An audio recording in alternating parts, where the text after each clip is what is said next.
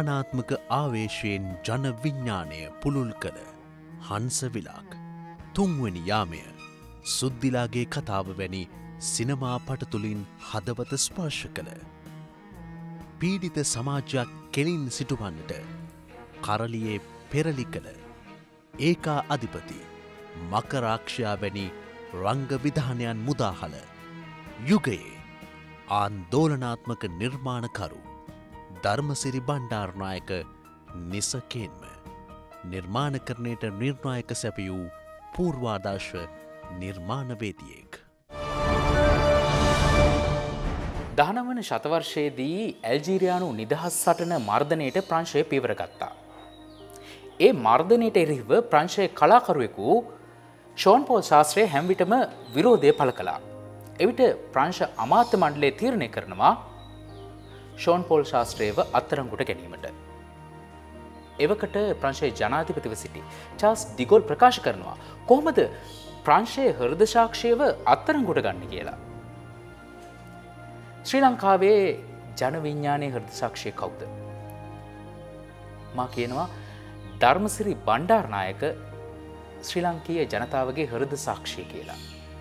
එසේ නම් අපි කොහොමද ධර්මසිරි බණ්ඩාර්නායකට නිහඬව ඉන්නට ඉඩ දෙන්නේ. එනිසා අද අපගේ වැඩස්ටහනේ කතා නායකයා බවට ධර්මසිරි බණ්ඩාර්නායක මහතා පත් සිට අයිබන් කල ඔබතුමාගේ වැඩස්නට ආදරෙන් පිළිගන්නවා අයිබවාන්. ඔබතුමාගෙන් මුලින්ම දැනගැනීමට කැමති. මේ ධර්මසිරි බණ්ඩාරනායක කළුතර ඉපදිලා. හොරණ විද්‍යාරතන විශ්වවිද්‍යාලයට ගිහිල්ලා. ඒ කුඩා කාලෙ කොහොමද ගත කළේ කියලා මුලින්ම අපිට කියමු. කුඩා කාලෙ කියලා කතා කළොත් ඉතින් එකක් තමයි පවුල ඇතුලේ මමත් මගේ සහෝදරයෝ දෙන්නෙක් හිටියා අයියයි මල්ලි. ඉතින් එතන තමයි මගේ මේ ආරම්භක මධ්‍යස්ථානයේ ඉතින් දෙමාපියන්ගේ සෙවන යටතේ මගේ පියා ඇවිල්ලා මංතැන් ලංකාවේ කැනෙ මං දකින විදියට ලෝකයේ ශ්‍රේෂ්ඨම වෘතියක් ඔරලෝසු ඔරලෝසු අලුත් වැඩියකින. අපි අපේ ඇහැ ගැටෙන්නේ නෑ කිසිම තැනකදී ඒ වගේ වෘතියක යෙදෙන කෙනෙක් කරේ. මොකද ඔහු මොලයක් ගලවලා පැත්තකට තියලා නැවත ඒ මොලේ වැඩ නොකරන තැන් හදලා හයි කල්ලා ඔබ අතට පත් කන්න. මගේ තාත්තා ඔරලෝසු අලුත් වැඩියා කරපු කාර්මිකය. ඒක තමයි එතුමා අපේ ජීවිතවලට කන්න බොන්න දුන්නේ අධ්‍යාපනය ලබා දුන්නේ. ඒ අමාරුකම් මැද්දේ. නමුත් ඇස් දෙක පෙනීමත් කන් දෙක ඇහීමත් ඔහුගේ නැති වෙලා ගියන. මොකද බොහෝ මිනිස්සුන්ට ඔය දෙක තමයි නැත්තේ. මම සතුට වෙනවා මගේ තාත්තට ඒ දෙකම තිබීම ගැන සහ. ඒ වගේ මම මගේ අධ්‍යාපන පොදු සහතික උසස් පෙළ විභාගය කරද්දී මට නාට්‍යවලට ලොකු ඇල්මක් තිබුණා. නාට්‍ය බැලීමට ඉතින් තාත්තා කොහොමහරි අමාරුවෙන් හම්බ කන්නේ කීයෙන් හරි මම කියන තාත්්‍ය අද හුණුවටේ කතාව දාලා තියෙන පානදුරේ බාලිකා විද්‍යාලේ මම බලන්න ආසයි මට කියක් හරි දෙනව රුපියල් දෙකන්තුන්නා. ඒ රුපියල් දෙකයි ඉස්සර නාට්‍යයක් බලන්න ප්‍රේක්ෂකයකුට වියදම් කරන්න ඕනේ. ඉතින් ඒ දෙක රුපියල් දෙක අරගෙන ගිහිල්ලා පානතුරු බාලිකා විද්‍යාලයේ පුටුවක වාඩි වෙලා නාට්‍ය පටන් ගන්නකම් ඒ වහපු තිරේ දිහා බලන්න හිටියා. ඒ වහපු තිරේ ඇරුණා. තිරේ ඇරුණාම මහා විශාල සෙනගක් නාට්‍ය ඇතුළේ පේන්න පටන් ගත්තා. ඒ අතර හෙන්රි ජයසිංහ ඒ උත්තරීතර නාට්‍යකරුවා රංගනයේ යෙදමින් අපි යමු. ඒ මොහොත මගේ ජීවිතේ කිසිදාක අමතක වෙන්නේ නැහැ. ඔහුව කොච්චරද කිව්වොත් ඔහුගේ රඟපෑම ප්‍රේක්ෂකාගාරයේ වශී කෙරුවා. අසඩක් වශයෙන් ඔහු රඟපෑවේ. නඩුකාරයෙකුට රඟපෑවේ. ඔහු නිතර කිව්ව නඩුකාරයක් කියන්නේ පල් හොරෙක්. ඒක අද දක්වාම පරම සත්‍යයක් වෙලා තියෙනවා. බර්ටෝල් බ්‍රෙක් තමයි ඒ වචන හෙන්රි එක තාම හොඳින් අල්ලස් ගන්නවා. හැබැයි යුක්තිය පසිඳලනවා. මම මිනිස්සු ඇවිල්ලා බලාපොරොත්තු වෙන්නේ අනේ නඩුකාර හාමුදුරනේ අපේ අපේ අපිට වෙච්ච දේ බලන්න. අපි දන්නවා අසඩක්ට කිව්වොත් වර්දින්නේ නැහැ. අසරක් යුක්තිය ජනයාට ලබා දෙනවා. එහෙම නාට්‍යකින් තමයි මගේ කලා රසඥතාවය දිගෑරුණේ. ඒ නාට්‍ය දිහා බලන් හිටීමේ. මම දෙකයි තියට ගියානන් නාට්‍ය ශාලාවට හුණුවටේ බලන්නේ. පහමාරට හෝල් එකකින් එළියට ආවේ ඇතුළට ගියේ ධර්මසිරි නෙවෙයි. අන්නේ අත්පොත කියවන්න මාව උනන්දු කරපු ඒ මහා කලා රසඥතාවය මම ළඟ තිබුණද නැද්ද දන්නේ නැහැ. නමුත් ඒක අවුස්සලා අරගෙන මෙන්න බෙබඳු නාට්‍ය වලින් ජනයා අමතන්න පුරුදුයන් කියන පණිවිඩය ඒ නාට්‍ය අවසන් මට ලැබුණා. මම වාග්යවන්තයෙක් තාත්තගේ රුපියල් දෙකෙන් මම මේ නාට්‍ය බැලුවා. නමුත් මගේ තාත්තා ඒ නාට්‍ය බලලා තිබුණේ නැහැ. රුපියල් දෙකක් නැති නිසා නෙමෙයි. අපේ ජීවිතයේ බඳු. ඒ නිසා අපි කියන්න සතුටු වෙන්නේ. දැන් මම ඇත්ත වශයෙන්ම විශ්වවිද්‍යාලය යන්න ආසාවෙන් හිටිය. ඇත්ත එක කැරැල්ලාව. කැරැල්ලෙන් පස්සේ මොකද වුණේ? කැරැල්ලෙන් පස්සේ ඔක්කොම විශ්වවිද්‍යාල පුනරුත්ථාපන කඳවුරු. ඊට පස්සේ දැන් රිසල්ට්ස් එනකම් බලන් ඉන්නවා ඇඩ්වාන්ස් ලෙවල්. රිසල්ට්ස් හොඳ වුණත් නරක වුණත් වැඩක් නැහැ විශ්වවිද්‍යාල වහන. ඉතින් කඳවුරකට ඇතුල් වෙලා එතන පුනරුත්ථාපනය වෙන එකනේ මටත් කරන්න වෙන්නේ. හැබැයි ඒ හැත්තැකි කැරැල්ල ගැන දැන් මං මේ නාට්‍ය ගැන කතා කළා හා සමානවම හැත්තැකි කැරැල්ල ගැන මගේ ගෞරවයක් තියෙනවා. ඒ ගෞරවය තමයි ඒ කැරල්ල මෙහෙවපු නායකයා ඊළඟට ගංවල හිටපු ඉංග්‍රීසි කතා කරන්න බැරි කොල්ලෝ මමත් එහෙම කෙනෙක්.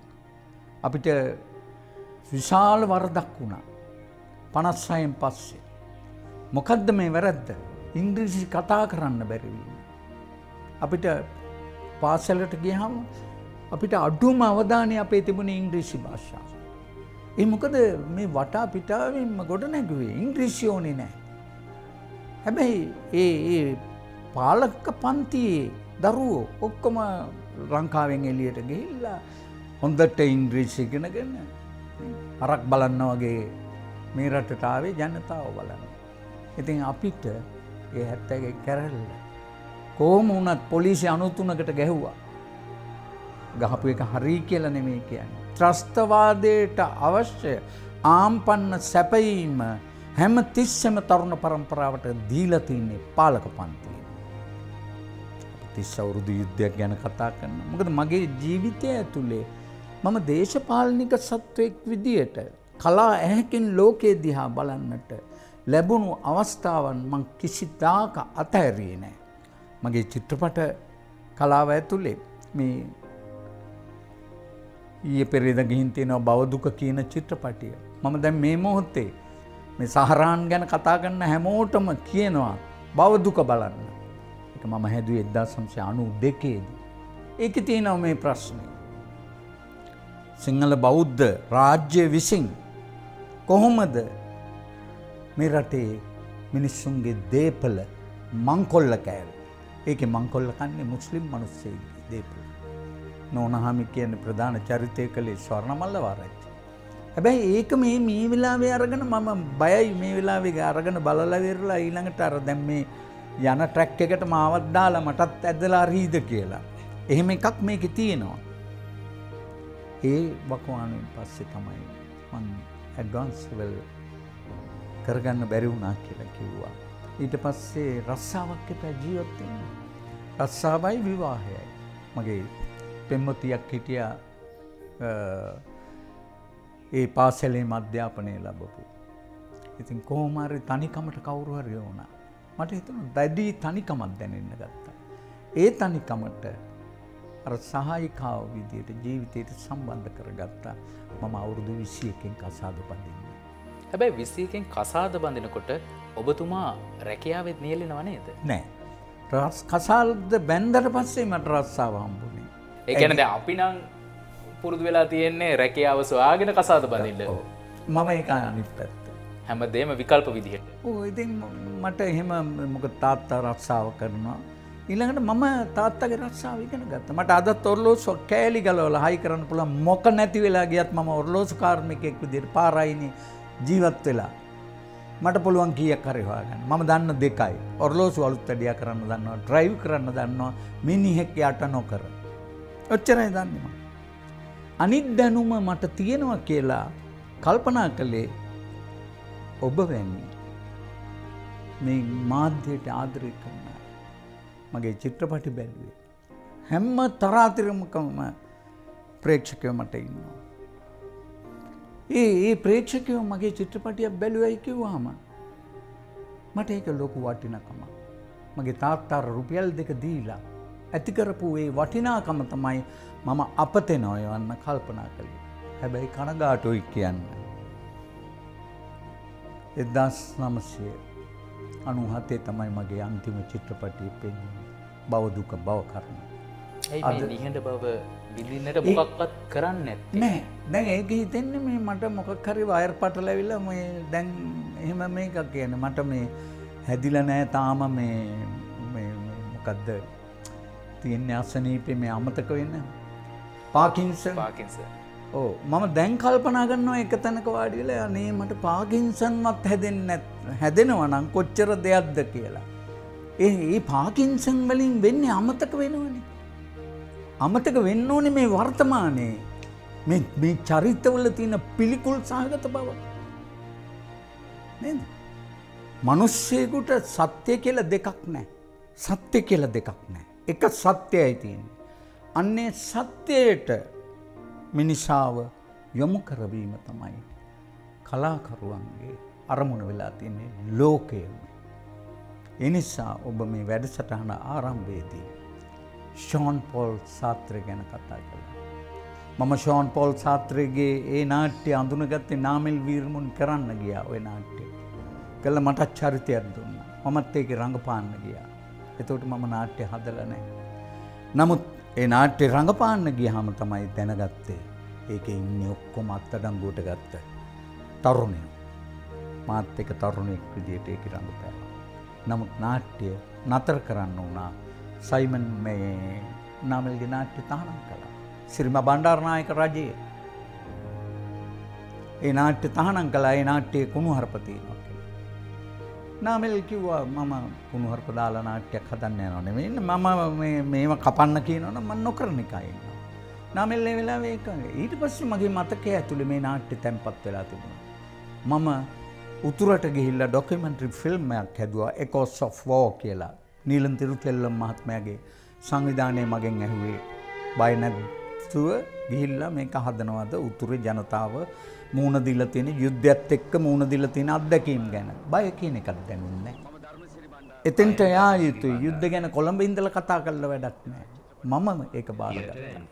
ඒ බාරරං යනකොට අතරමගදී අපේ වාහනේ පැහැරගත්තා LTT සංවිධානය.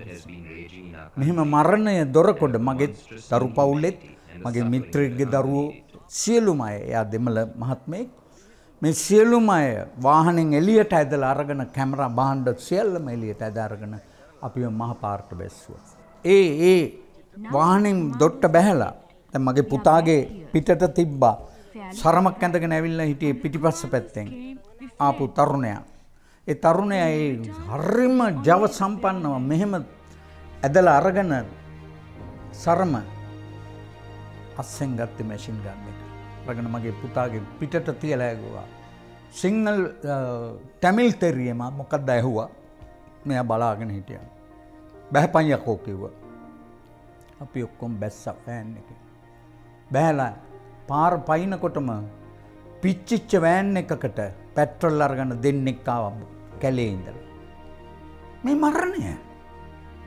මරණය නොදැක්කෙවුන් මරණය ඉල්ලා හිටිනවනම් ඒක වෙනම කතන්දරයක්. නමුත් අපි ඇස් ඉස්සරහා අපිට පේනවා මේක. අපේ වාහනේ පැහැරගෙන ගියා මේ යනකොට පළවෙනි වතාවට ඉන්දියන් හමුදාව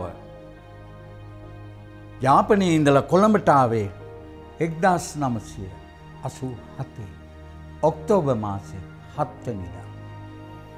ඒ වැල්ලට මේ හමුදා වාහන එනකොට අපි ඒකට පැන්න. පැල්ලකිව අපේ වාහනය පැහැරවී ගිය අපිට ඒක හොයලා දෙන්න අපි යන්නේ කොළඹ. එහෙම කිව්වෙන් පස්සේ එතන හිටපු ඔෆිස කෙනෙක් සික් ජාතික ඔෆිස කෙනෙක් ඔහු බැහැල ඇවිල්ලා. අපිට අරක ලුහු බැඳගෙන ගිහිල්ලා අපිට ගෙනල්ල වාහනේ බාර දුන්නා. බාර දුන්නහම ඒ වාහනේ නැගලා අපි කොළඹට ආවා. මේ ජීවත් වෙන්නේ අපි. ඒ ලැබුණු ඒ කියන්නේ අපිට අබේදානය දීමේ ප්‍රතිඵලයක් විදිහට. ඒ වෙලාවේ මට මතක් වුණා අන්නර නාට්‍ය. මේක මං කරනවා කියලා. ඒක පරිවර්තනය කළා. ඒක නිෂ්පාදනය කළා. ඒක තමයි මම දවල භීෂණ නමින් වේදිකාවට ගෙනාවේ. හරිම ආඩම්බරයි නාට්‍ය හදපු වකවානුව ගැන කල්පනා කරනකොට. තැන් තැන්වල තරුණයින්ගේ මල කඳන් දාලා ඔල්ලු කපලා මාර හපංකමක් කල්ලා තියෙන. අහිංසක තරුණයෝ මර මරා ඒ කරපු ක්‍රියාව. මේක බෞද්ධ රටක්ද කියන ප්‍රශ්නය අපේ හැමතිස්සම එනවා. මේක මේ මරන්නේ මේ පිටින් ඇවිල්ල නෙවෙයිනේ. තමන්ගේම රටේ ඉන්න තරුණ කොල්ලෝ. එහෙම සුවපත් වුණානේ අන්තිමට. ඒ වෙලාවේ දවල භීෂණ නාට්‍ය අපිට ජීවිතයක් ලබා දෙන අතරතුර තර්ජනයකුත් ආවා. මේක පෙන්වුවොත් මරනවා කියලා. සිද්ධ වුණේ මොකද්ද? නාට්‍ය පැත්තකින් තිබ්බා. නළුනිලියන්ට ආයුබෝවන් කිව්වා. අසල්වැසි ඉන්දියාවට ගිහිල්ලා ජීවිතේ බේරගත්තා. මාස 3ක් තැන් තැන් වල läග läග අගුපිල්වල läග läග තමයි ජීවත් වුනේ. සල්ලි තිබුණේ එහෙම ජීවත් වුනේ අපිට කවුරු කන්න බොන්න දුන්නේ ඉන්දියන් ආණ්ඩුව නෙමෙයි කන්න බොන්න දුන්නේ. අපි කඩයකට ගිහිල්ලා කී කරේ පොඩි මුදලකින් තෝසයක් කාගෙන එහෙම වැටලා හිටියා. ඒ වෙලාවේ එතෙන්දී හම්බ වෙනවා නන්දමාලිනියත් සුනිල් ආරෝල. ඒ දෙන්නම සෝමරත්න බාලසූරිය. අපි එක පවුලක් වගේ තමයි එතෙන්ට යන්නේ. නන්ද තමයි සමහර වෙලාවට කන්න උයලා අඬ ගහන්නේ කන්න කියලා. අපි මොන වැරද්දක් කළාටද? මම නාට්‍යයක් හදපු වැරද්දට. ඇවිල්ලා කියන්නේ කොහොමද මේක නවත්තපන් නැත්තම් ඔළුව කුඩු වෙන්න අපේ එකෙක් ඇවිල්ලා වෙඩි තියෙනවා උඹට. අපි පව් කරපු ජීවිත. ඔය එක නායකෙක් ඇවිල්ලා අපේ ජීවිත වෙනුවෙන් පෙනී හිටියද? නෑ. අපිමයි අර තිරිසන් වගේ කන තැනට ආපහු ආවේ. එලෝපු කිසි මිනිහෙක් මේ ලංකාවට ආවෙත් නෑ. එන්නෙත් නෑ. නමුත් අපි ආවා. ඊළඟට මම කරේ ඔය දවල භීෂණ නාට්‍ය කරන්න පෙර කලා හෙන්ඩු ජයසයන මහත්මෑගේ. හැත්තකේදී හැත්තකේදී ඔබතුමාට හෙන්ඩි ජැසන මහතා හමුවෙනවාන ඒ හම්බවෙන්නේ නාට්‍යකට මට කතා කරනවා. නාට්‍යක රඟපාන්න. මම හිතුවා අර මම රුපියල් දෙකේ ටිකට්ට කරගෙන දෙකාරගෙන බැලූ මහා නාට්‍යකරුවා මට චරිතයක් නිරූපණය කරන්න කතා කරන්න කිවාම ලැබුණ සතුට. එතුමා මොන්න තරං ගෞරවාන්විත ගුරුවරෙද්ද. ගෞරවාන්විත රංග ශිල්පියෙද්ද. ඔබට මතක ඇතිනේ ගම්පෙරලී පියල්. අනිවාර්යෙන්ම අද ගම්පෙරලිය කරන්න නම් පියල්ට හොයාගන්න එකක් ඉන්නවද මේකේ. පච්ච කොටපු කොන්්ඩේ බැඳපු නේ අබරන්ල ටිකන්න ඉන්නේ. එන්රිජයස්සේන පියල්ට එනකොට පුුණ්‍යහින්දනියත් එක්ක. මතන ඒ අපේ ඇස්වල අපේ ඇස් පින් කරලා තියෙනවා. ඒව දකින්න මේ රටේ මහජනයත් ඒ පින්න කරලා තියෙනවා. ඊට පස්සෙන මේ සිනමාවට මොකද වෙලා තියන්නේ? චිත්‍රපටිකෝ ප්‍රේක්ෂකයෝ. එමට මේ මෙතන මේ වැල්ලවත්තේ බැලුම් විකුන්න මනුස්සෙක් මාව දැක්කාම හිනා වෙනවා. මම ඉතින් කතා කරන්න පෙළඹුණා. ඊට පස්සකෝ ඇයිසර් චිත්‍රපටියක් හදන්න ඇත්තේ. මංකව හදල කාටද පෙන්න්නේ නෑසර් එහෙම කියන්න එපා. සර් හද ෆිල්ම් පහම මම් බල්ල තියෙන මගේ දරුවොත් අරන් ගිහිල්ල බැලුවා. එහෙම කියන හම් එතකොට ලොකු දුකක් ඇතිවෙන. අපේ වටිනාකමක් තියෙනවාද. අපි මේ කොච්චර කාලෙක ඉඳලද කියන්න. කලාකරුවෙක් වටින රටක් නෙමෙයි මේ. ඉතින් ඒ නිසා මම මේ ළඟදී නන්දාමාලිනිය හම්බ වුණා මට කනත්තෙදී. මේ එච්චම් ජයවර්ධන මහත්තයාගේ මරණ ගෙදර ඇවිල්ලා. නන්දා හැමෝම තැන්තැන්වල කට්ටි කට්ටි කතා කරගෙනට මන් දැක්ක නන්දා තනියෙන් අර දුම් යනව බලන් ඉන්න. ගිනි තපපු කවුලුවෙන් මම නන්ද ළඟට හිමින් ගියා. ගිල්ල මං කිව්වා නන්දා ඔය මෙතන හිටගෙන ඉන්න ඉඳයි මං කරදර කරනවත් දන්නේ ඉතින් අපි හඳුන්නා ඒ නිසා කතා කළා. කතා කළා මම හිව්වා ඔයාගේ සත්‍යයේ ගීතය ශ්‍රමණ ආරාධන ලුම්බිනි රඟහලේ පෙන්නනකොට පවන දක්වා ඔයාව වට කරගත්ත දාස් ගානන් ප්‍රේක්ෂක දොරවල් කඩාගෙන හෝල් එක ඇතුළට ආවා. එහෙම ඒ ප්‍රේක්ෂකයෝ ගණන් කල්ලා බැලුවොත් මේ ලංකාවේ ජනගහනින් භාගකට වැඩි. පලංචි දාලා වාඩි වෙලා ඒ ගීය ගායනා කරන්නකොට විරෝධාකල්ප ගීත ගායනා කරන්නකොට. ඒ ගීත ඔබ ගායනා කරන මොහොතේ අපිට කටපාඩන් හිටිය. අපි සින්දු පොත් අරංගඉල්ල කටපාඩන් කල්ල නෙමේ. ඒ තරම් කලාව සහ සාහිත්‍ය කියන එක අපේ ජීවිතවලට සමීප වුණා. නිෂ්පාදන ආර්ථිකයක් ඇතුළේ ඒ වර්ධනය ලාංකීය සමාජයටාව. හොරු ගෙවලයෝ අරුම් මුන් හිටිය නෑ දේශපාලනය ඇතුළේ. අපි නිකමට ගත්තොත් මුදල් ඇමති කියලා ආචාරයන් නැම් පෙරරා. කිට්ටු වෙන්න පුළුවන්ද. ඒ දැනුමට අපේ වාසනාවට මේ රටට එම දේශපාලකයෝකි මම නන්දරමින් ඇවේ. එහෙම කරපු එහෙම ගීත ගායනා කරපු ඔයා. ඒ වගේම වික්ට රත්නායක. සා ප්‍රසංගය කරද්දි එකතු වෙච්ච ජනතාව මේ ලංකාවෙන් භාගෙට්ට වැඩි. විශාල දමරද.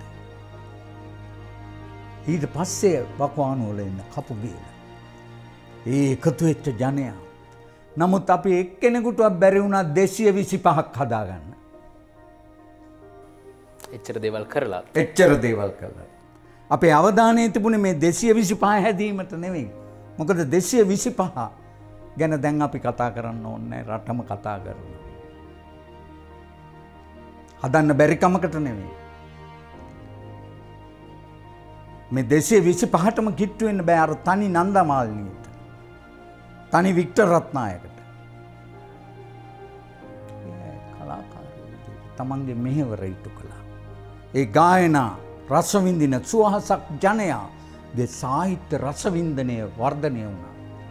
ඒ නිසා ඒ කවුරුවත් කල්පනා කළේ නෑ ස්ට්‍රියක් දැක්ක ගමන් දූෂණය කරන්නේ කොහොමද. බලන්නකෝ අරගෙන ඊට පසු කාලෙක පොලිස් පොත් ඒව පිරෙන්නේ මොන්න තරන් අපරාධ වලින්ද. ඒ යුගේ අරගෙන බලන්න. අපරාධයන් බේතකට දකින්න. ඔය රත්මලීගේ චරිතය දඩේ මේ එන්නේ. කොච්චර කාලෙකට පස්සේද මේ රටේ අර කාන්තාව මියගිය කේස් එක පත්තරවල වැටෙන්. දැන් පත්තර ගත්තාම ප්‍රධාන ප්‍රවෘතිවල තියන්නේ ඔක්කොම මිනීමැරුම් ඔක්කොම ස්ත්‍රී දූෂණ. එක කොච්චරද කිව්ව මේ පොඩි ළමයින්ව දූෂණය කරනවා සීය. එහෙම තැනකට මේ ආවහම ඒක පාලක පන්තිය හිතෙන් නැද්ද මොක්කුද කියලා. පොලිසි ඇරීමෙන් නෙමේ මේ ප්‍රශ්නට විසඳුම එන්නේ. ධර්මසේන පතිරාජ බඹරුව චිත්‍රපටය පෙන්න්නනවානේ අර ගමට ගෙනල්ල පොලිස් බෝඩ් එක හහි කරනවා. පොලිස් බෝඩ් එකෙන් නෙමෙයි මේක වෙන්නේ. ඉතින් මම හිතන හැටියට. මම නොකලේ දේශපාලනය. මම නන්දට කිව්වෙත් දේශපාලනය කරන්න කියලා නෙවෙයි. අපි ගිහිල්ල තනි වෙලා හරි අපිට අන්තිමට බලන් ඉන්න වෙන්නේ දුම් යනවා තමයි. කාගේ දුම යනවද කියලා තමයි අන්තිමට අපිට දැනේවි. නමුත් මේ වැඩ සටහනේ අපි කියන්න කැමති මේ සෙල්ලම කරන්න එපා මේ රටේ අහිංසක ජනයාගේ ජීවිතය එක්ක. මේ රටේ මිනිස්සු ජීවත්වෙන්නේ මොන්න තරං අමාරුවෙන්.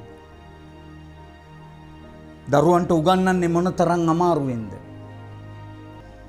අපි බුලට්ටකෙන් ප්‍රශ්න විසඳුවයි කියන එක තමයි අපේ තියෙන ලොකුම වීරකම.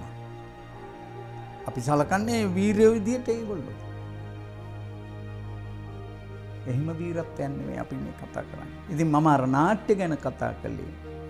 ඒ නාට්‍ය බලන්න ආපු ජන කොටස්. ජනතාව සයිමන්ගේ සුභයස බලන්න ශාලා පිරිලිලා ඉතිරලා ගිය. කෝ ඒ මිනිස්සු අද. ඒ මිනිස්සු මේ රට අතඇරල වෙන රටකට ගී නෑ. පුළුවන්තරම් මේ රටින් එලෙව්වේ අසුතුනේ ගහලා. ඒ මිනිස්සු දරුවොත් අරගෙන යාපෝට් එකට ගිහිල්ලා ඒ ගිහිල්ලා මේ විදේශ රටවල් වල තැන් තැන්වල වැටීගෙන යාළු මිත්‍රාදීන්ගේ උදව්වෙන් දරුවන්ටත් උගන්නගෙන අදේ දරුවෝ ඉන්නේ ලංකාවේ එක මිනිහෙකුට බැරි තැන්වල ඒ පොසිෂන්ස් වල ඒ දරුවෝ ඉගෙනගෙන ඒ තනතුරු දරනවා. ඒ අපි සතුටු වෙනවා. මේ රටේම තව ජාතියක්. ඉතින් මම හිතන හැටියට මේවා එකක්කත් කියන්නේ ලංකාවට මේ දුර්දාන්ත අවදියෙන් එලියට පැනගන්න පුළුවන්න. මහිතන්නේ පැනගන්න බෑ කියලා. හැබැයි මේ කෙරුවාව. තවදුරටත් ඉදිරියට කරගෙන යන්න හිතනෝනං යම් මිනිෙක්කෝ යම් පිරිසක් ඒ අයට උත්තරේ ලැබෙන. හැත්තෑව දශකයේදී ඔබතුමා සිනමා රංගනයටත් එකතු වෙනවා. නමුත් හැත්තෑව දශක ඔබතුමා සිනමා රංගනයට එකතු වෙනකොට හිටියේ සිනමා නළුවෙක් කිව්හාම ප්‍රතිරූපයක් තිබුණා. නමුත් ඔබතුමා ඒ සියලුවේ නළුවන්ට අභියෝග කොටගෙන තමයි සිනමාවට එක් වෙන්නේ. එතෙන්දි කොහොමද ධර්මසිරි බණ්ඩාරනායක කියන චරිතය ඉදිරියට ගේන්නේ. මම එහෙම මේ ධර්මසිරී බණ්ඩාරනායක කියන්නේ දැන් ඔබේ පැත්තෙන් මට කන්න ගෞරවයක් වෙන්න පුළුවන් ඒ නමට නම හයිලයිට් කරන එක. තැ මම ඇත්තවශයෙන්ම පාසල් යන කාලේ නාට්‍ය පාටමාලාවක් හදාරන්න ගිහිල්ල මට හම්බෙන් අම්බෙන සුදර්ශයායතනයේදී දයනන්ද ගුණුවර්ධන කියන මහත්මය. එතුමා ගැන හොයල බලන්නකොට මතකේ නව නරි බෑන හැදවී මිස්ස ගුණුවර්ධන ඔහොම ඔහොම එතුමා හදපු නාට්‍ය වගේ. කොමර එතුමාගේ ඇහැ මගේ ගැටි ළමාට මගේ දිහා බලාගෙන ඉඳලා එතුමා චිත්‍රපටියක් හැදුවා. එතුමා මට කතා කරලා කිව්වා මම ධර්මසිරි ළඟදී මගේ මුහුරත් එකක් තියෙනවා මේ ගම්පහ එන්න ඒකට මම චිත්‍රපටියක් කරන්න යනවා ඒකේ දැන් ඔයාට චරිතයක් තියෙනවා. බක් මහදීගේ බක් මහදී. මම හිතනවා මං හරි වාසනාවන්තයි කියලා චරිතය නිරූපණය කරන්න පළවෙනි වතාවට ජීවිතේ කැමරාවක් ඉස්සරහට ගිය දවස්. බයක් දැනුන් නැත් බය කියන්නේ මගේ ප්‍රාර්ථනාවක් තිබුණේ චිත්‍රපටි නළුවෙක් වෙන්න. මේ දයානන්ද ගුණවර්ධන මහත්තයා තමයි මාව ඇදලා අරගෙන මම දන්නේ මොකද්ද චරිත කියලාවත් පිටපත කියවලත් නැහැ නිකන් මං ගහින් වැටුණා වගේ එතෙන්ට ගියේ. නමුත් අර නාට්‍ය කලාව ඇතුලේ යෙදිලා ඉඳීමෙන් යමක අනුපිළිවෙල දැනගත්තා. රංගනයට අවශ්‍ය කරන කාරණා. මාව ගෙනල්ලා මට සරමක් ඇඳුවා අර කොට්ට උරයක් වගේ ෂර්ට් එකක් ඇඳුවා මෙතනින් ගැට ගහන. ගැටයක් දාලා දාලා මම ඒ චිත්‍රපටියේ ඒ ඒ වලව්වේ ගෙදර වැඩකාරයාගේ චරිතය කළේ කරන අතරතුර මට පොඩි ආදර කතාවක් එනවා. ඒ වලව්වේ ළමා තැනිත් මට ලව් කරනවා. ඊට පස්සේ පබුලිනා කියන චරිතය කළේ. අම්ලා කරුණා තිලක. මම ඇවිල්ලා ඒ ඒ පවුලේ හුරතලේ. ඉතින් මම දන්නෙත් නැහැ මට කියන කියන හැම එකම මිස්ටර් ගුණවර්ධන කියන විදිහටම කරා. කරලා ෆිල්ම් එක ආවට පස්සේ තමයි මම බැලුවේ. බැලුවාම ප්‍රේක්ෂකාගාරය සම්පූර්ණයෙන්ම මේ කුල්මත් කරන චරිතයක්. ඉතින් අද දක්වාම සිංහල අවුරුද්දට පෙන්නන එකම සිංහල අවුරුදු චිත්‍රපටයේ බක්මාදී. ඉතින් ඒක ඒ චරිතය නිරූපණය කරනකොට දැන් අදත් ගෙදරක පෙන්නුවොත් මේ ගෙදර hina වෙනවා අල්ලපු ගෙවල් වලට ඇහෙනවා.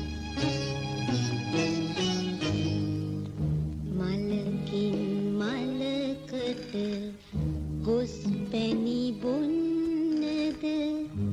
මාහිමි බඹරුනි ඔබ සැරසෙන්නේ මාහිමි බඹරුනි ඔබ සැරසෙන්නේ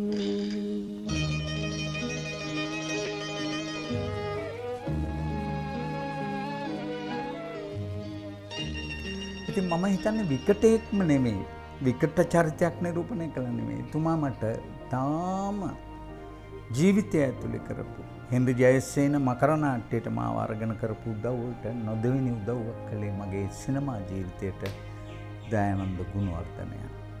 ඊට පස්සේ තමයි මේ තිර රචනා කියවීමට ආරම්භ වුණ ඊට පස්සේ තිස්සා බේසේකර මහත්මයාගේ අ, නෑ තිස්සගේ මම නිධානය චිත්‍රපටයේ පිටපත අරන් කිව්වා ඊළඟට හම්බෙනවා බයිබලේ වගේ එකක් වසන්ත වෙසේකරයන්ගේ පළඟ. පළගැටියෝ ඒකෙත් මාව ප්‍රධාන චරිතයට ගත්ත මට තොට ඔබතුමට බයක් හිතු නැද්ද පළඟටියෝ චිත්‍රපට්ටේ ටිකක් අමුතු ආකාර චරිතයක් ඔබතුමාට කරන්න තියෙන්නේ මේ ප්‍රතිරෝධයක් එල්ල වෙයිද මේ ප්‍රේක්ෂකයන්ගේ හැබැයි ඒක ගැන නෙවෙයි මට හිතුනේ ඒ චරිතයේ තියෙන බරපතලකම.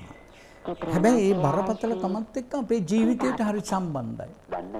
අමාරුවෙන් ඉගෙනගෙන රස්සාවක් හොයාගෙන නගරයට ගිහිල්ලා නගරයේ තැන් තැන්වල රැකියාව විරහිත භාවයෙන් දුක් විඳින්න පාරක් පාරක් ඇවිද ඇවිද ගානේ ඇවිද ඇවිද රස්සාවක් හොයාගෙන එක්තැන් වෙන්න පවුලේ අනික් සාමාජිකයෝ ජීවත් කරන්න දරණ උත්සාහය. මෙම අපේ ජීවිතය කොටස්.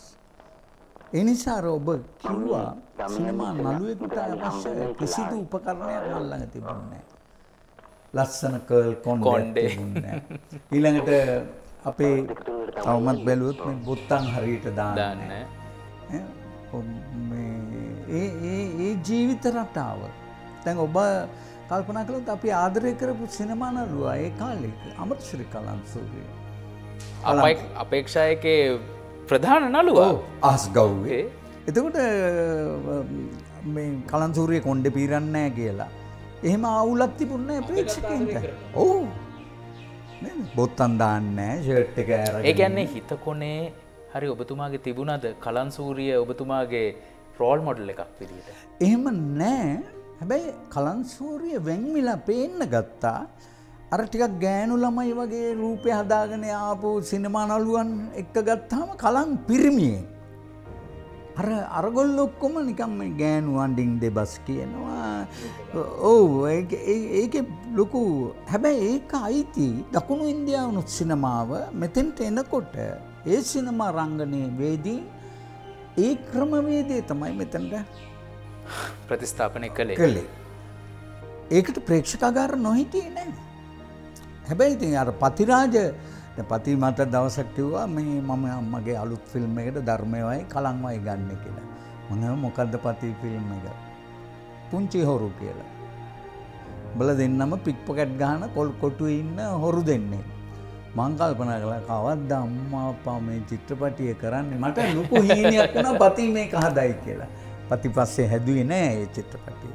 නමුත් කලනුයි මායි එකට ඉන්නයි කිව්වා නම් මේ සිනමාව ගොඩ ගන්න එක උත්සාහයක් කියන එක නෙවෙයි මං කියන්නේ. නමුත් ඒක අදත් ඒක කරලා තිබුණනම් තමයි මේ මතකය නැවත නැවත අලුත් වෙන්නේ. ඔබතුමා ලෙස්ට ජෙම්ස් පිරිස් මහතාගේ පුරන් අපු පුරං අප. චිටපටත් සුළු චරිතයක් කරනවා ඒ කාලේ මම ඒකාධිපති නාට්‍ය හැම දාම වගේ තියෙන. හැම දාම ෂෝස් ගිහිල්ල එනකොට උගුර බැරැන්ඩි වෙලා. එක හරි වෙහෙසක් ඒකාධිපති නාට්‍ය රඟපෑම කියන එක. ඉතින් ඒ- වෙහෙස මත තමයි පුරංගපු චිත්‍රපටියේ රඟපාන්නගේ. ඒ ගිහින් ඉන්නකොට මේ සමහර දවස්වලට චිත්‍රපටියට එක්ක යන්න වෑන් එකක් එනවා. ටිරොන් ෆනෑන්ඩු මහත්තයාගේ.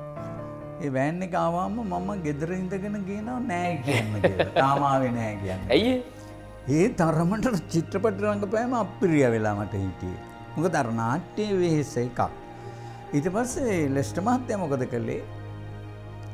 මේ මාව දවසක් අරන් ගිහිල්ලා ඔක්කොම සුමිත්‍ර මැඩම් අර ඇසිස්ටන්ට් දීලා තිබුණා මේ මම ආපු නැති දවස්වල සීන්ස් විස්තරේ ඔන්න ඔය පිළියන්දල පැත්තේ කැලේකට අරන් ගිහලා ලෙස්ටර් මහත්තයා මට කියනවා මෙතන ඉඳලා අතෙන්ට පයින්න අතන ඉඳලා මෙතෙන්ට පයින්න ඔය ටික කරලා මම යන්තම් පුරන් අප්පුවලින් ගැලවුණා.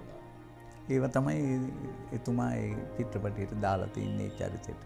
ඔන්න ඔහොම චරිතවල රංගනය නීලෙන ධර්මසිරි බණ්ඩාරනායකයන් ඊට පස්සේ හංසවිලක් චිත්‍රපටයේ කිරීමට අධ්‍යක්ෂණය කිරීමට පෙළඹෙනවා. මේක කොහොම සිද්ධ වෙන්නේ?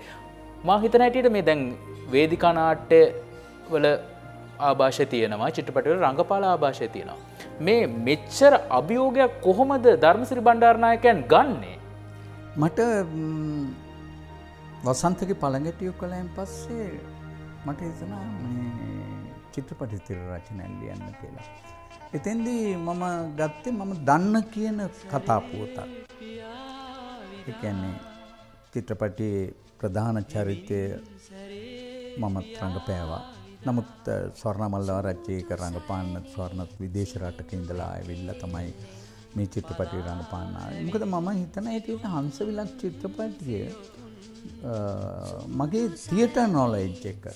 එකනේ නාට්‍ය කලාවෙන් මම එකතු කරපු සම්පත් ප්‍රමාණය තමයි සිනමාවෙන් ඇතුළට දැන්නේ. දැන් ඒකට මං ඔබට පලවෙනිම ජවනිකාව මන් සුළු බාධා කිරීමක් මම මේ හංසවිලක් චිත්‍රපටය නරඹනකොට මට පේනවා. අමුතුම රූපරාමු මේක හිතාගණ්ඩ බැරි රූපරාමු තියෙන්නේ. ඔබතුමා එහෙම කොහොමද පිටපත එවැනි රූපරාමුවලට ගොුණු කළේ. ඒකට වැදගත් වුණා මම ඒ චිත්‍රපටියකට එන්න කලින් විශාල ප්‍රමාණයක් චිත්‍රපටි බැලුව. කොච්චරද කිව්වොත් ඒ චිත්‍රපටි සිනමාහලේ දිනමින් බැලුවේ. ගෙදෙද්දි. ගෙදෙට්ට චිත්‍රපටි ප්‍රක්ෂේපණ යන්ත්‍රයක් සල්ලිවලට ගත්තා. රුපියල් හාරදාහකට ගත්තා 16 මිලිම ෆිල්ම් ප්‍රොජෙක්ට එකක්. ඒක අරගෙන තානාපති කාර්යාලවලට යනවා. ගිහිල්ල එතන ඉන්න ඒ තානාපති කාර්යාලයේ ඉන්න චිත්‍රපටි අන්සේ ප්‍රධාන ඉන්නෙවෙයි මේ වැඩ කරන ළමයි හම්බ වෙලා මට හොඳ ෆිල්ම් එකක් දෙන්න ගෙදර ගෙනින් බල්ල ගෙනත් දෙන්න කියලා. එහෙම ඒගොල්ලෝ මිත්‍ර වුණා. මම ඒගොල්ලන්ට ඒ මිත්‍රයින් කර ගැනීම සඳහා නාට්‍ය බලන්න ටිකට් ගෙනත් දෙනවා. ඒකෙන් මට මේගොල්ලෝ යාළු වුණා. එතන ඉඳන් මම චිත්‍රපටි අරගෙන. එකම චිත්‍රපටිය 25 25 වතාවකට වඩා බලලා තියෙනවා. ඒවා සේරම වගේ නැගෙනහිර යුරෝපීය චිත්‍ර. හංසවිලක් හදන්න කලින් බලපු පෝලන්ත හංගේරියානු සුරුසියානු චිත්‍රපටි. මේවා බලමින් තමයි හැබැයි ඒ එකකින්වත් මං කොපි කළේ නෑ. එක රූප රාමුවක්කත් කොපි කළේ නෑ. බහන්ස විලක් බලනකොට එන ප්‍රශ්නය තමයි දැන් තරම හිතාගණ්ඩ බෑ ඒවා. ඕ අපි ඒ කාලෙ බලන චිත්‍රපටි හා සංසන්ධනය කිරීමේදී මේ චිත්‍රපටය අතර ලොකු වෙනස් වෙනසක් පේනවා. ඔව්. ඉතින් මම හිතන්නේ හංසබිලක්වල තිබුණේ ප්‍රේක්ෂකයාට හැම මොහොතකම දරාගන්න බැරි රූපරාමු පද්ධතියක් ඇතුළේ ඒ ජීවිත අත්දැකීම දරාගන්න. හරි හංසවිලක් චිත්‍රපටය තිබුණු වටිනාකම තමයි. අර හොඳ මනුස්සේ ආවර්ජනයේ යෙදෙන චිත්‍රපටියක් මම පෙන්වේ. දරුවූ දාලා යනවා. බිරිඳ දාලා යනවා. නමුත් නැමත ස්වාගෙන අපේ මේ හැම ජීවිතයක්ම හරි ආසයි නැවත ස්වාගෙන අපේ ජීවිතවලට බොහෝ දේ නැති වෙලා තියෙනවා. ඒ නැතිවීමේ කම්පනය සහ වේදනාව ප්‍රේක්ෂක පල්ස් එක ඇතුළේ තියෙනවා. නැතිවෙච්ච දරුවෙක් නැතිවෙච්ච පියෙක් නැවත දකින්න ලැබෙනව නම් මොන තරම් භාග්‍යයක්ද ඒක. ඒ මිනිස්සු ඉල්ලන්නේ ඒක. ඉතින් අපි මේ පහුකරපු අතීතයන් තුළ හංස බිලක් වගේ පන්දාහක් හදන්න පුළුවන් ඒව තියෙන පෙළ ගැහිලා. හැබැයි අපි නොකරන එකයි ප්‍රශ්න කියලා ඔබ කියන්න පුළුවන් නෑ. දැන් මම්ම කල්පනා කරනවා මම චිත්‍රපටියක් හදන්න කාගෙන්ද සල්ලි ඉල්ලගන්න. දැන් ඔබේ මේ නාලිකාවට ඇවිල්ල මම මේක කියනකට ම හිඟන්නෙක් නෙමෙයි. නමුත් මේ වැඩසටහන නරඹන ප්‍රේක්ෂකයන් දැන් ඔබතුමාට අනිවාර්යෙන් මාරාධනා කරනවා. ඔබතුමාගේ නිහට භාවය බිඳින්න කියලා. ලොකු දෙයක්. නමුත් මං නිශ්ශබ්දව සනීපෙන් සැපෙන් ඉන්නවා කියලා නෙමෙයි මම මේ කියන්නේ. ඒකේ ලොකු දුකක් තියෙනවා. ඒ දුක ලෙස්ට පීරිස් මහත්තයට දැනුන්නේ. එතුමා වයසට ගිහිල්ලා නැති වුණා.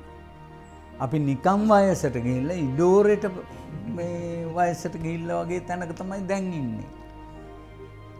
දැන් මගේ පරම්පරාවේ මහා සිනමාකරුවෝ දෙන්නෙක් තමයි.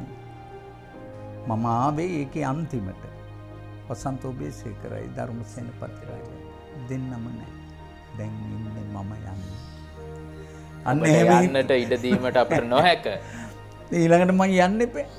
වෙලාවාවෙන් පස් ඉතින් ඊට පස්සේ මං ගැන ගුණ කතන කිත්තියයි විටිය නම් මාරයි අරකද මේකද. ඒවනි මෙම කියවන්නේ. නෑ. අපි මොන තරම් වේදනාවෙන්ද මැරෙන්නේ කියන එක පිළිබඳ ප්‍රශ්නයක් තියෙනවා. ඒ අපි කලාව පරිහරණය කර අයුක්ති සහගත දේට පුළුවන් තරන් යුක්තිය වෙනුවෙන් පෙනී සිටපු නිසා. එනිසා අපි මිය යන මොහොත් මොහොත අපිමයි කල් දාලතින්. පෞගිය ජනවාරි පහළොව ජයග්‍රහණය ගැන කතා ජනවාරයාට අපි මැරෙන්න්න තිබුණු දවස්ස. මගේ කේන්ද්‍රයේ තිබුණද නැද්ද කියලා නෙමේ මම කියන්නේ මං මරණය අපේක්ෂාවෙන් බුද්ධිය ගත්ත දවස. ඒ වෙනස සැපද දැ. තැන්ටමයි සැප් දැනෙන්නේ. හරි අපි වරදක් කළේ නෑ. අපි මේ රටට යහපත් අනාගතයක් ප්‍රාර්ථනා කරපුද. තවත් මාසෙන් දෙකෙන් නැත්තං අවුරුද්ධෙන් යන්න පුළුවන්. ඒ හිටියත් ඒ පියවෙච්ච ඇස් දෙක ඇතුළෙ තියෙනවා. අපි එහෙම විනාශයන් අපේක්ෂා කළ මිනිස්සු නොවන බව. මහගම සේකර අවුරුදු හතලිස් නමේදී මැරණ. මම මේ හැම තිස්සම් මතකයට ගන්න එක්තරා කීර්තිමත් චරිත එතුමා ලියපුේ ගීත ඇත්ත වශයෙන් මට ලියන්න බෑ. ඔබතුමත් එක ගීතයක් රචනා කළා. මං ඒක පද පෙළ කියන්නට කැමති. ඇකේ සිටමා පුතු හඬනා සඳ ලේකිරි වීදැයි නොදනෙමි මාලඳ. අසරණ දෙනෙතින් පුතු දෙස බැලු සඳ දුටුවේ වැගිරෙන කඳුළු පමණිලඳ. පවනට සැලෙනා. ඔබතුමාගේ ජීවිතය ඔබතුමා එකම ගීතයයි රචනා කරන්නේ. මෙච්චර අදහස්තියන ඔබතුමා ඇයි එක ගීතයකට පමණක් පදරචනය යොමු කළේ. හැත්වශයෙන් මේ මම හිතාගෙන ඉන්නේ දැම් මේ ඔබ මාවක කොහෙද හරි දැක්කොත් ඔරලෝසු හදනවා ආධර්මසිරී මීට කලින් කිව්ව නේද කියලතෙන්න මම සින්දු ලියනවා ඒ කියනකොට මට හිතන එක පහත් වැඩක් කියලා නෙවෙයි. ඕක මම ටම් ජයරත්න සහ ප්‍රේමසිරි කේමදාස මේ යුවල්ල මට නාට්‍යයක් කියවරලා කිව්ව මේ ධර්මසිරි අර ටම්ගේ සරලගී වැඩසටනත් තියෙන එකට සිින්දුවල් ලියර දෙන්න කියලා. මාස්ට යමක් කිව්වෙන් පස්සේ මට මගාරින්නත් බෑ. මාස්ටර්ට තිබුණේ අපේ විශාල ගෞරවයක් සහ අද දක්වා ඒ ගෞරව කෙලෙසිලා නෑ. කෙලෙසන්න පුළුවන් මියෂීෂයන් කෙනෙක් ඇවිල්ලත් නෑ. එනිසා කේමදස් මාස්ට්‍ර එක නිර්මාණ කරපුමන් එක ලිව්වා ගෙදර ඉඳගෙන. ලියලා මාස්ටර්ට ටෙලිෆෝන් එකෙන් කෝල්ල එකක් දීලා ගෙදෙට්ට. මාස්ටර් මම නිකම් පොඩි ගැට ගැහිල්ලක් කළා පොඩ්ඩම කියන්න ගැන මම ලියා ගන්නම් කිව්වා. ඊට පස්සේ මාස්ටර් ටෙලිෆෝන් එකෙන් තමයි ඕක ලියාගත්තේ. ලියාගත්තාම මම ඇහුවා මාස්ටර් කොහොමද? හරි කිව්වා වැඩේ. ඊළඟ සතියේ නාට්‍ය පෙන්වන දවසේ ටීඑම්ට කිව්වා මේ හාමනී කරන් ඇවිල්ලා කියන්න කියලා. කිව්වම් මේ අර ගීතයට තනු දාලා ගිටාර් දාලා කොම කල්ල මාස්ට්‍රමයින් ඇව කෝම ධර්මසිරි මං කිව්ව මාස්ටර්ගේ මියසික් කැරෙන්මන්ට් එක උඩ මට හිතනවා පවතින ගීතයක් ලියල අදටත් පවතිනවා. මේ අතුට මේ වැඩසටහන්න එන්නකොට දවල් දොළහයි පනස් හතරට අහගෙනාවේ ගුවන් විදිලිය අහගෙනාව ඉතින් ඒක ඒකැන්නේ අපතෑමක් නෙවෙයි මම නමුත් මගේ හංසවිලක් චිත්‍රපටයේ මම එක ගීතයක් ලියන්න දුන්නේ ධර්මසයන පතිරාජයට මම බයේ දුන්නෙත් මේ පති බෑගේ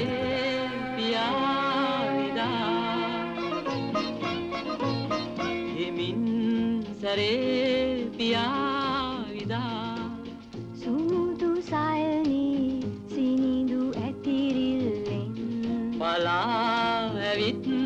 සිතුම් සියොතුන්. සුමුදු සයනී සිනිදු ඇතිරිල්ලෙන්.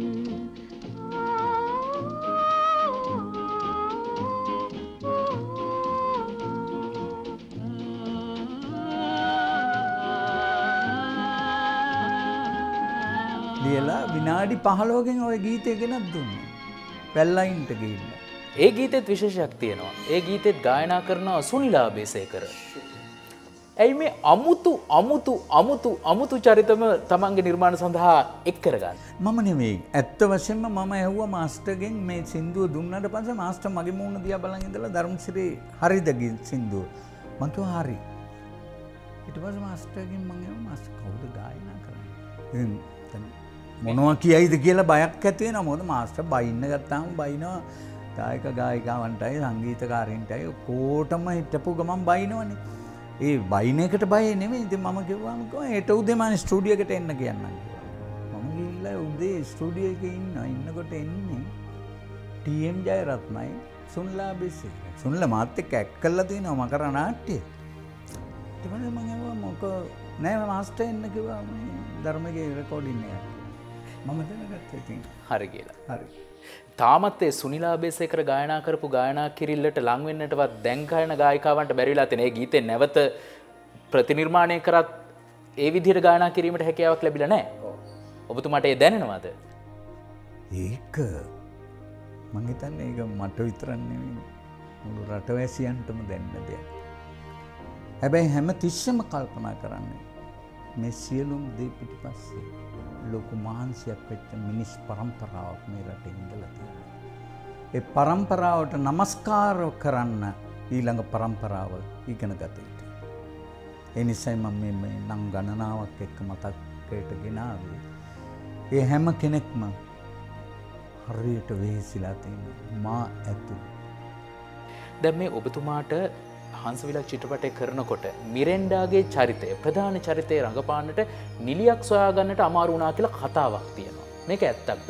ඔබතුමා ලංකාවන්න ජනප්‍රිය ජනකාන්ත නිලියංගාවට මේ පිටපත අරගෙන යන ඔවුන් ප්‍රතික්ෂේප කරනවලු. ඇත්තට මේ ස්වර්ණාමල්ලවරච්චි මේකට එක පාරම කැමති වුණාද?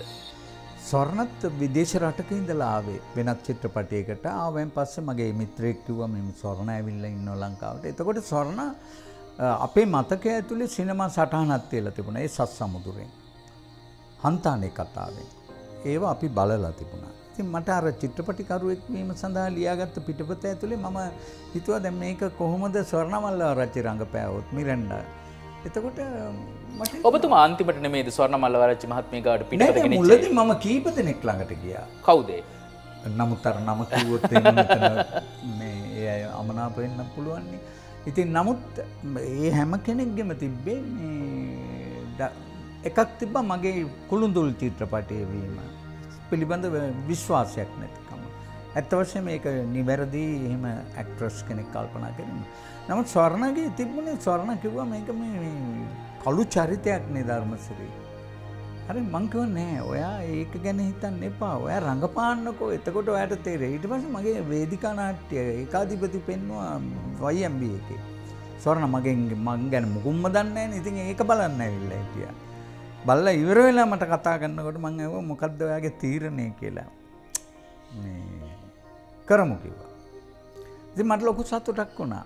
මොකද ස්වර්ණය කාලෙන් නිම් මොලල්ල ඔම චිත්‍රපටි තුනහතරක විතරයි හිටියේ. නමුත් ඇයට ඒ ඒ හිටපු චිත්‍ර මහකමසකරගේ තුමන් හන්දිය. එතකොට ඒවෑන් එයා එකතු කල්ල තිබුණා. ඒ ඒක තමයි එයාගේ ජීවය. ඒ ඒ ගුණය. එයා බෙදල තිබුණා සමාජයට. ඉතින් මට ඒක වාසනාවක් වුණා. ඒ වගේමයි. ඔය පිටපතේ මම රඟපාන්න හිටියේ නෑ. කෞද ගත්තේ? ප්‍රධාන චරිතයට හිතාගෙන හිටියේ. හිතාගෙන හිටපු මම රවීන්ද්‍රට කතා කරලා තියෙනවා ටෝනිට කතා කරලා තියෙනවා එහෙම නල්ලු නිලියෝ කීප දෙනෙකුට මගේ ප්‍රඩියුස එක්කගින් කතා කරන්නකොට ප්‍රඩියුස ඉදන් කිව්වා ඇයි බං ඔච්චර සල්ලිගේ වන්නේ උඹ කරපංකෝ කියලා. ඉතින් මම කිව්වා මට කරන්න බැරි හින්දා තමයි මම මේ ඊට පස්සේ අවසානයේ මගේ නිෂ්පාදකට සල්ලි ඉතුරු කරලා දෙන්න තමයි මං හංස විලක්වල නිස්සංකට රඟපෑ මම හිතනවා අද දවස් දක්වත් නිස්සංගගේ චරිතය ප්‍රේක්ෂකයට සාධාරණයක් ඉටු වුණා. ඒ වගේම ධර්මසිරි කියලා තෙක් රඟපාපු නළුවටත් සාධාරණයක් මම යටතෙම සිද්ධ වෙලාති. ඔබතුමාගේ චිත්‍රපටි නාමාවලේ සුදිලාගේ කතාව තුංගනියාමේ බවදුක බවකර්මාදී වශයෙන් සිනමාපට ගණනාවක් ඔබතුමා අධ්‍යක්ෂණය කරනවා. මම මේ හැම චිත්‍රපටයකම දැක්ක විශේෂතාවත් තමයි ප්‍රධාන චරිතය සඳහා තෝරාගන්නවා ස්වර්ණමල්ලවාරච්චිව. නමුත් තුංගනියාමේ චිත්‍රපටයේදී ඉන්දිරා ජෝන් කලාස තමයි තෝරගන්න. ස්වර්ණ බෑකිව්වද තුංගනියාම රඟපාන්න. නෑ. හංසවිලක් කලාට පස්සේ මන් තුඟනියාමේ පිටපත ලියලා චිත්‍රපටි සංස්ථාවට බාර දුන්නා ඊට පෙර මම කෙටි චිත්‍රපටයක් කළා කාන්තාරේසින්නේ කියලා යාපනයට ගිහිල්ලා ඒක රංග ශිල්පීන් එක්ක පටිගත කළේ. ඒ ඒ චිත්‍රපටිය කරලා ඒ චිත්‍රපටියේ රඟපෑවා ඉන්දිරා ජොන්ක්ලස්. හේමසිරිලියන් එකේ.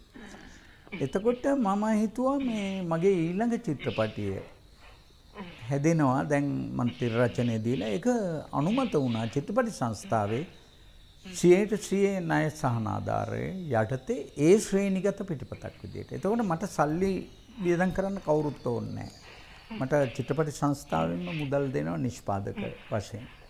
මම ඒක රට කාස්ට් කරනකොට දැන් ස්වර්ණ අතීත මතකයක්ම නෙමෙයි හංස විලක්වල ප්‍රබල නිරූපණයක් කරපු ඔව්. ඉතින් අර කෘතවේදී භාවය ඇතුලේ මම ගිහිල්ලා ආයි මේ ස්වර්ණවම ගන්නවා වගේ එකකට යන්නේ නැතුව මම ඉන්දිරාට කිව්වා මම ෆිල්ම් එකක් කරන්න යනවා ඉන්දිරා ඒකේ මේ ඒ චරිතය ඔයා කැමති නම් නිරූපණය කරන්න කියලා. එතකොට එයා ඉංග්‍රීසි වේදිකාවේ ඇක්ට්‍රස් කෙනෙක් සහ සිංහල සිනමාවේ චිත්‍රපටි කීපයක රඟපෑවා. කළුදිය දහර. ඔව්. ආයි ධර්මසේනපති රාජගේ පාරදිගේ. ඔව්. ඉතින් මට ඒ මතකය ඇතුළේ තමයි මම හිතුවේ මේ චරිතය කරන්න පුළුවන් කියලා. ඉන්ද්‍රා සෑයන උත්සාහයක් දරුවා ඒ චරිතය හොඳින් කරා.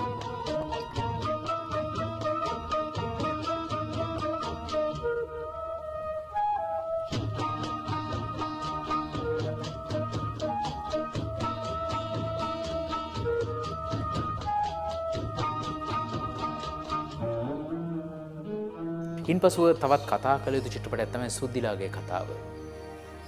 ඒ ගැනත් අපි සඳහන් කරු. සුද්දිලා කතාව සයිමන් නවගත්තේකමගේ නව කතාව සයිමන් මයි පිටපත ලිව්වේ. ඒ පිටපත ලියල මට බාර දුන්නයෙන් පස්සේ මේක බීට පෙර මෙයා බාරදිල්ල තිබුණ සයිමන් විජය කුමාර්තුන්නට. විජය ලොකු ආසාාවකින් හිටිය. ඒක රොමියල්ගේ චරිතය කරන්න. මටත් කතා කල්ලා තිබුණ මම කරන්න ඒක කියලා. බඳුල ගුණුවර්ද නිෂ්පාදක.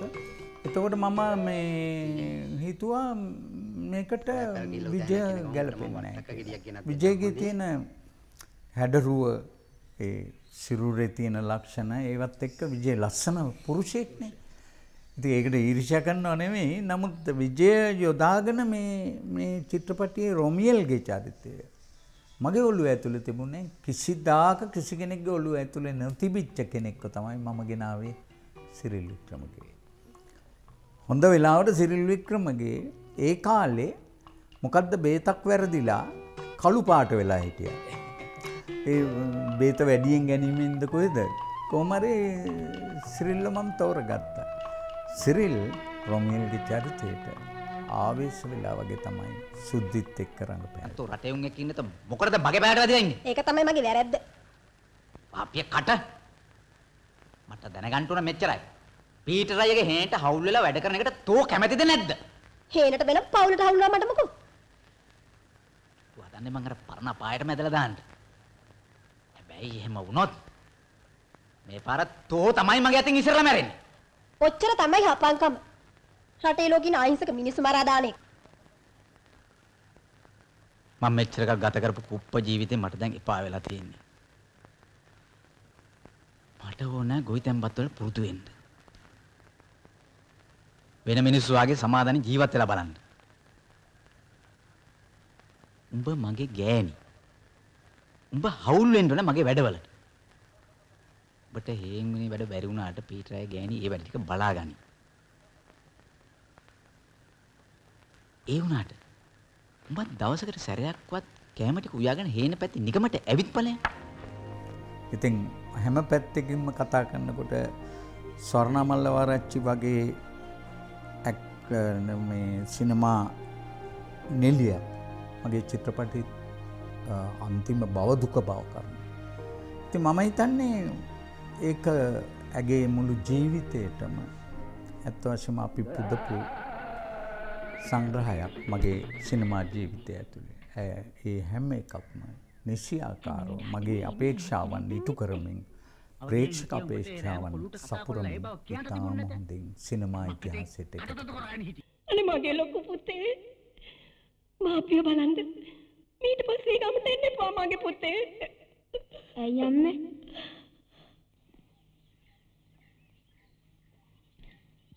අපි දැන් යන්න ඕනේ. let us go. අම්මගේ අතින් බත් ටිකක් කාලා ගියා නම් තමයි පුතේ හොඳ. එතකොට ඔබතුමාගේ සිනමා ගමන සහ ස්වර්ණ මල්ලවරච්චිගේ එකතුව පිළිබඳවත් අපි සඳහන් කරමු. ඕ ජීවිතය ඇතුළේ විවිධ වූ දේවල් හැලැපීම් සිද්ධ වෙනවා. අපි හිතන ජීවිතයෙන් දැන් මේ මේ කතා කර කර ඉන්න මම කවුද දන්නේ දැන් අද රෑ ගෙදරේ ඇයිද කියලා. දැන් මම ඇත්ත වශයෙන්ම මට ගොඩක් දෙනෙක් දැන් අවවාද කරලා තියෙනවා ධර්මශ්‍රී මරණය ගැන කතා කරනවා වැඩි කියලා. මං කිව්වා මම මේක මේ විලාසිතාවක් වශයෙන් කරන්නේ නැහැ. නමුත් අ, මට අතවනනවා වගේ පේනවා.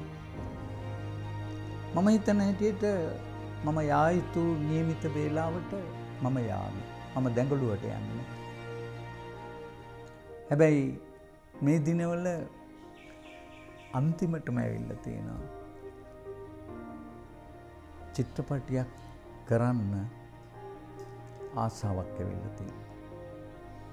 ඒ ආසාව නිමිත්ත සිංහල කාන්තාවක් වන්නේදී වෙඩි තබා මරණ අවස්ථාවක ඇය කෑ ගහනවා. මම සිංහල ගෑනියෙක් මට වෙඩි තියන්න එපා. තම ඇයට වෙඩි තියල ඉවර. මම හිතනවා මගේ යුතුකම ඒ චිත්‍රපටියෙන් මම ඉෂ්ට කරලා නැති වෙලා. ඒ කතාව ආපු මොහොතේ ඉඳලා අපිට සමාවක් නෑ. ඉතින් ඒ සමාවක් නැති බව සමාජයේ සටහන් තැබීමට මේ චිත්‍රපටි මං කරන්න උත්සාහ කරනවා. ඔව්. දැන් ඔබතුමා සංස්කෘතික අධ්‍යක්ෂ ජෙනරාල්වරයා ලෙස වැඩ කටයුතු කළා. එයින් රටට යමක් සිදු කලාද. මෙහෙම මං හිතන්නේ ජනාධිපතිතුමා මට මේ ඒ ඒ රැකියාව එක රස්සාාවක් වශයෙන් ගත්තත් සේවය කිරීම සඳහා අවශ්‍ය පරිපූර්ණ මධ්‍යස්ථානයක් ඇතුළි තමයි මේ මෙතෙන්ට මාව අ, මට ඒ ආරාධනාව කළේ එතුමාගේ ආරාධනාව අනුව තමයි මම එක බාරගත්තේ මට හිතුනේ රටේ තියෙන අනිත් අනිත් වුවමනා එපාකම් එක්ක ගත්තාම රටේ සංස්කෘතික ශේෂත්‍රය ගොඩදානවා කියලා අපි හොඳ නාට්‍ය හැදීම හොඳ චිත්‍රපට හැදීම කියන එක නෙමෙයි. අර මම ඔබට කලින් සටහන් කළා. නිෂ්පාදන ආර්ථිකය කුඩුවලින් නම් පවතින්නේ. මේ පෞගිය ටිකේම අපි අහන නන් ටික අරන් බලන්න අර කට්ටියක් ගිහිල්ලා පිටරට. එහෙදි අහුවෙලා නං කීයක් නිවුස් වලට ආම මේ කරුමෙන් කවද්ද නවතින්නේ කියන තරම් ඉන්නකොට ඊළඟට වෙන තව නං වගේක් ආවා. ඇවිල්ලා දැන් සහරාන් වෙලා වැඩේ. අරක යට ගියා. ඔව්. මේ මේ මේක නෙමෙයිනේ අපේ අපේක්ෂාව. අපේ නිෂ්පාදන ආර්ථිකයට හෙන ගහලා තියෙන්නේ. ඔය පචයෝ පච කතා කිව්වට අපි ඒ පචයෝ කියන වචනෙන්මයි මේක කියන්න ඕන. ඉතින් මම හිතන්නේ අන්නේ ශස්ත්‍රීක භාවය ආවහම මිනිසුන්ගේ බුද්ධිමත් භාවය ඒක ඒකේ අර වැහිච්ච නාල ඇරෙන්ඩ ගන්න. අන්නේ කොටස තමයි අපි අතින්. මම සංස්ෘතික අධ්‍යක්ෂක ජනරාල් වීමෙන් ඒක වෙන්නේ නෑ. ඒක වෙන්න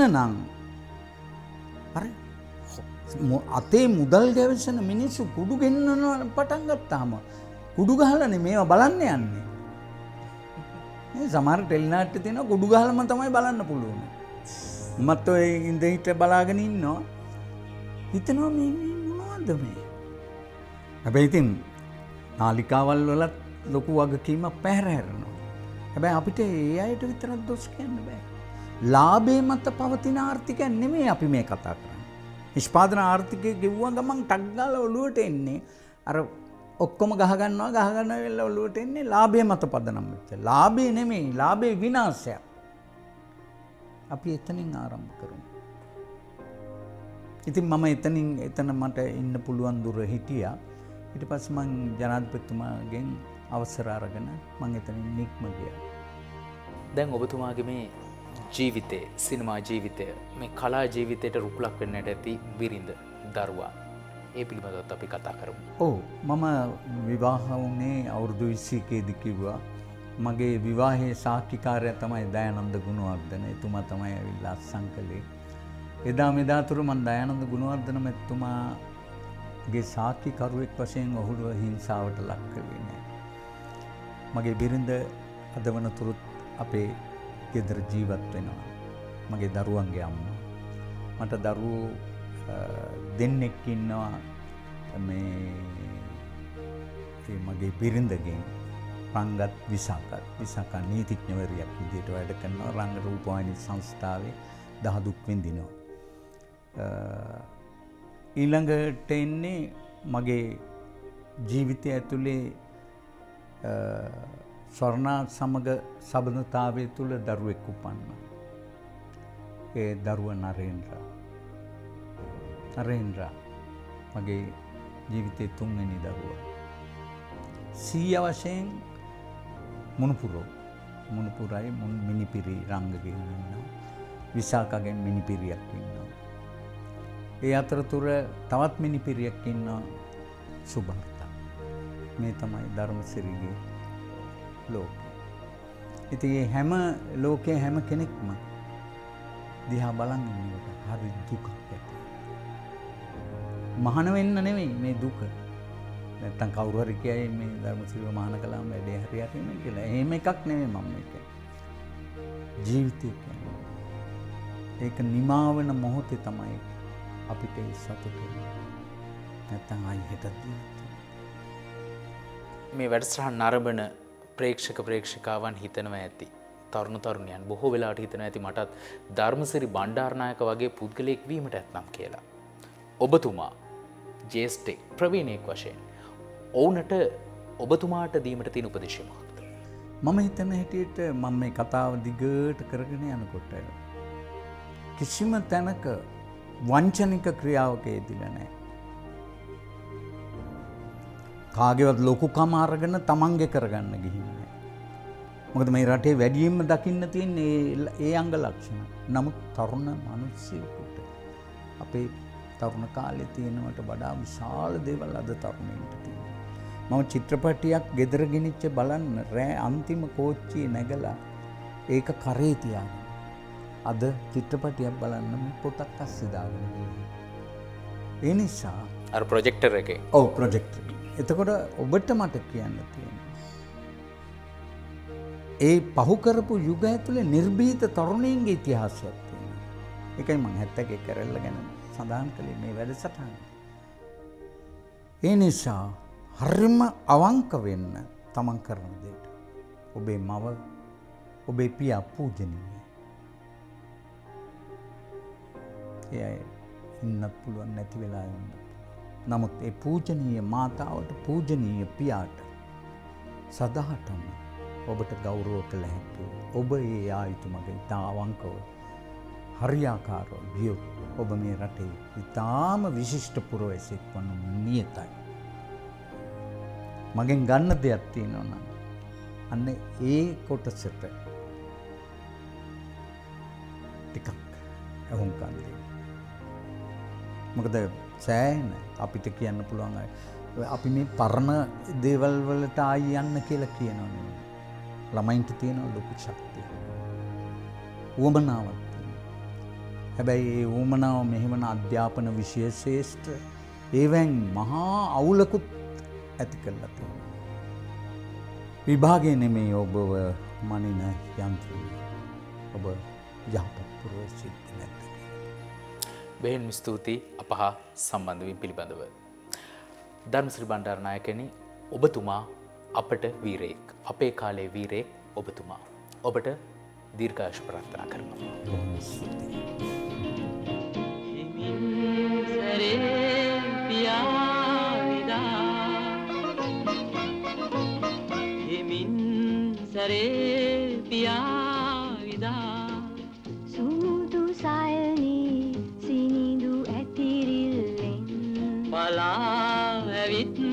සිතුම්